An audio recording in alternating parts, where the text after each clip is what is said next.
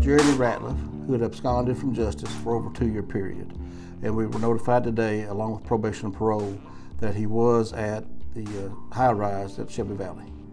And upon our arrival, we knocked, announced our entry, and Mr. Ratliff climbed from one balcony to the, to the next apartment balcony. And I'm, I'm gonna tell you, it was, it's 10 floors. It's pretty scary, to be honest with you. I mean, it's straight down. And he climbed into the next, the next apartment balcony, trying to avoid us. Uh, we gained entry uh, with the uh, assistance of the janitor. We gained entry into that apartment and arrested him on the balcony.